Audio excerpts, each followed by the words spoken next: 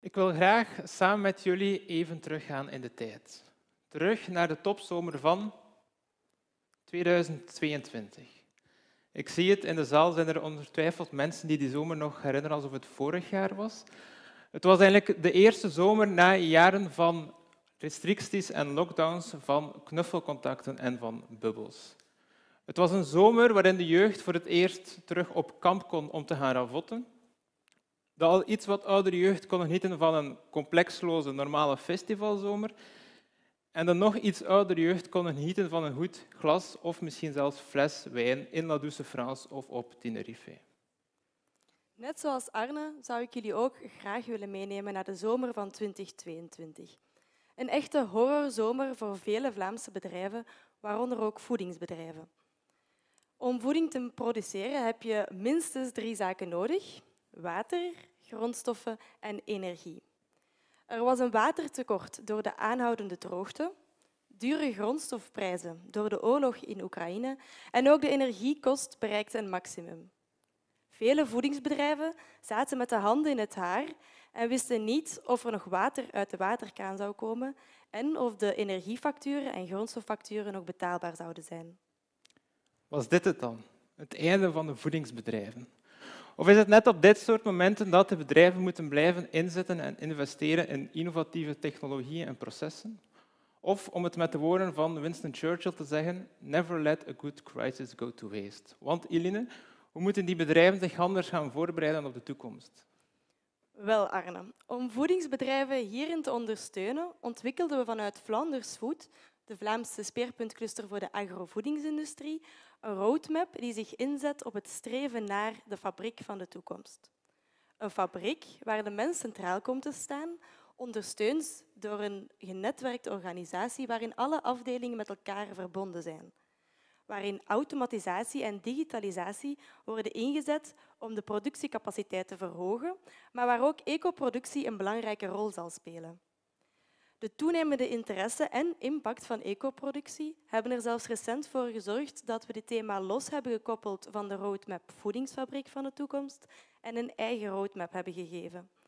Daarin willen we voedingsbedrijven helpen om hun grondstoffen, water en energie zo efficiënt mogelijk in te zetten. Ik hoor jullie al denken, zijn er dan eigenlijk manieren om gezamenlijk energie, water en grondstoffen te gaan aanpakken? Ik kan jullie verzekeren dat daar zeker en vast naar gekeken wordt. Bijvoorbeeld, hoe kunnen bedrijven inzetten op een slimmer waterbeheer door waterhergebruik, water besparen of zelfs water delen met omliggende bedrijven, om zich zo weerbaarder te gaan opstellen tegen de aankomende droogtecrisis. Ik wil jullie graag even meenemen in ons project Sucro. Stel jullie voor dat jullie werkzaam zijn in een bedrijf dat aardappelen verwerkt tot frietjes. Ik kan mij inbeelden dat hier mensen aanwezig zijn waarbij dat echt het geval is. Dan wil je natuurlijk dat die frietjes die jullie maken lekker krokant zijn, dat die een mooie gele kleur hebben en dat die ook geen kankerverwekkende stoffen bevatten. En een belangrijke stap in het proces van die aardappelverwerking is het blancheren van die aardappel. Blancheren gebeurt in twee stappen en gaat ervoor zorgen dat er geen kankerverwekkende stoffen worden gevormd, zoals acrylamide, en ook dat die aardappel niet bruin gaan kleuren. En het is voornamelijk die tweede blancheerstap die zeer water- en energie-intensief is. Want je gaat eigenlijk je aardappelen gaan spoelen met water op een hoge temperatuur. En tegelijkertijd ga je ook zetmeel en suikers uit die aardappelen gaan wegspoelen. Je hebt dus enerzijds een aardappel over die geblancheerd is en klaar is om verwerkt te worden tot die frietjes.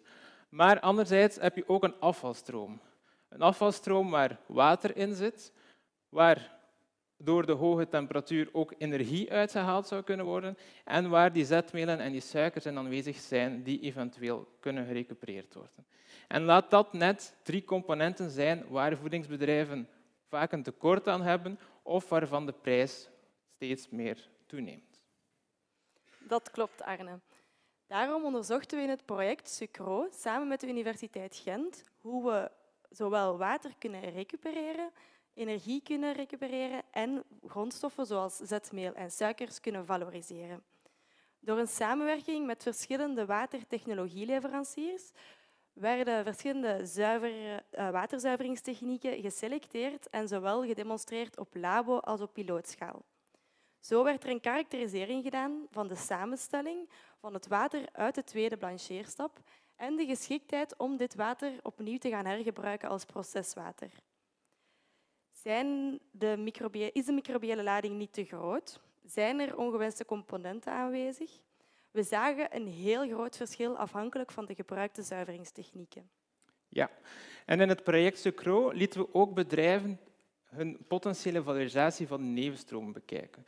Bijvoorbeeld, hoe kunnen die zetmelen en die suikers uit dat afvalwater gerecupereerd worden?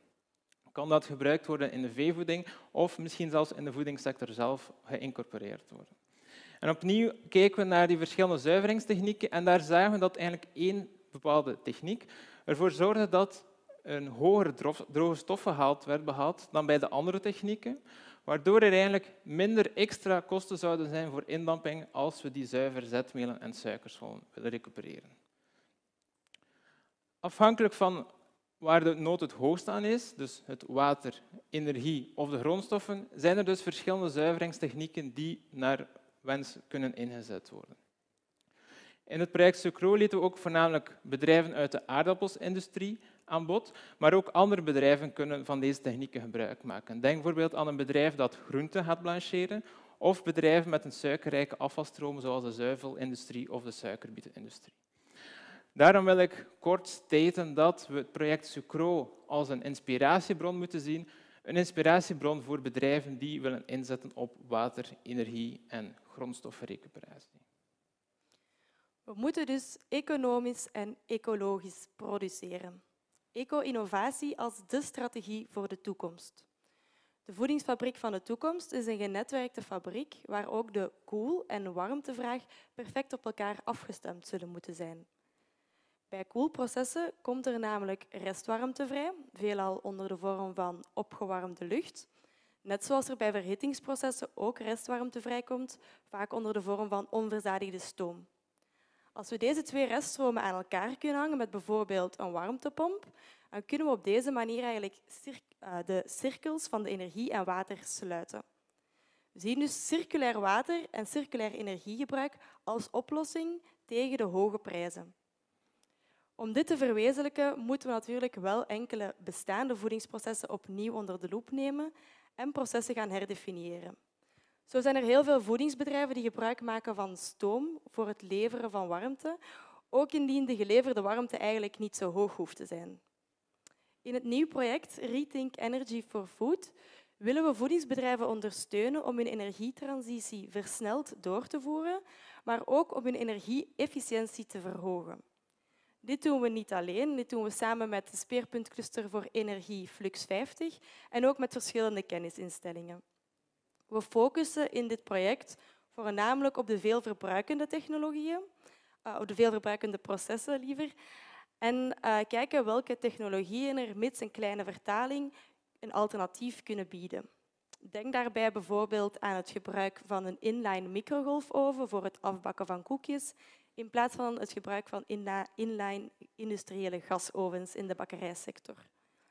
Voor de temperatuursintensieve processen kijken we dan eerder naar alternatieven zoals bijvoorbeeld hoge temperatuur warmtepompen of het gebruik van inductie op industriële schaal. Hoe voedingsbedrijven dan kunnen omgaan met al deze verschillende energievormen bekijken we apart in een traject rond Energy Resilience, waarin ook energiemanagementsystemen worden bekeken. En tot slot kijken we ook naar de veelverbruikende koelprocessen in de voedingsindustrie, waar we zowel kijken naar de optimalisatie van huidige installaties, zoals bijvoorbeeld ventilatieinstallaties, veel gebruikt in de groente- en vleesverwerkende sector, als ook naar de implementatie van nieuwe innovaties, zoals bijvoorbeeld een vacuümkoeler. Dit alles doen we uiteraard niet zonder zowel de productkwaliteit als de voedselveiligheid uit het oog te verliezen. Klopt. En daarnaast klinkt ongetwijfeld ook de term Twin Transition jullie bekend in de oren. Want om die water- en energiecirkels perfect op elkaar te gaan afstemmen, is er nood aan digitalisering. Digitalisering, want meten is weten. En als we willen streven naar die voedingsfabriek van de toekomst die ook digitaal is, dan hebben we nood aan data en ook aan slimme meetapparatuur zoals sensoren om die data te gaan collecteren. Willen we dus een voedings van een fabriek die voedingsfabriek van de toekomst die digitaal is, dan moeten we die data implementeren om water, energie en grondstoffen zo efficiënt mogelijk te gaan inzetten. Niet alleen de processen binnen de fabriek moeten goed op elkaar afgestemd zijn, maar ook de processen buiten de fabriek hebben een impact. De fabriek van de toekomst is, zoals eerder gezegd vandaag, een genetwerkte fabriek, maar dus niet alleen intern, ook met zijn omgeving. Zo zien we nu al dat er in industriegebieden warmtenetwerken worden opgezet, maar ook dat voedingsbedrijven in tijden van droogte hun gezuiverd afvalwater ter beschikking stellen voor nabijgelegen boeren. Je ziet het, die voedingsfabriek van de toekomst die komt er niet zomaar en die komt er niet alleen. Er is nood aan samenwerking. Samenwerking enerzijds tussen de verschillende actoren binnen de waardeketen, maar ook samenwerking met nieuwe partners. En belangrijk daarbij zijn de mensen. Goede mensen, mensen waarop je kunt bouwen en vertrouwen. En de rol van de mensen in de voedingsfabriek, die, van, de voedingsfabriek die zal ook steeds meer anders en anders ingevuld worden, want taken onder koude temperaturen, saaie taken, onveilige taken gaan steeds meer en meer uitgevoerd kunnen worden door robots en cobots. Zo komt er meer ruimte vrij voor het potentieel van die werknemers beter te benutten, maar zal dit ook hun welzijn beter tegemoetkomen. Conclusie, die voedingsfabriek van de toekomst zien wij voornamelijk als een samenwerking tussen mensen en robots. En dit om op een geautomatiseerde en digitale manier beter en efficiënter met water, energie en grondstoffen om te gaan. Vooralsnog zien we in die voedingsfabriek van de toekomst dus geen plaats voor aliens of andere buitenaardse wezens. Dat blijft ook zo bij Flanders Food. Bij Flanders Food blijven wij ook mensen. Hebben jullie vragen rond innovatie in de voeding, dan kunnen jullie steeds bij ons terecht. Wij waren alvast Eline Stuiven en Arne Huist en bedankt voor jullie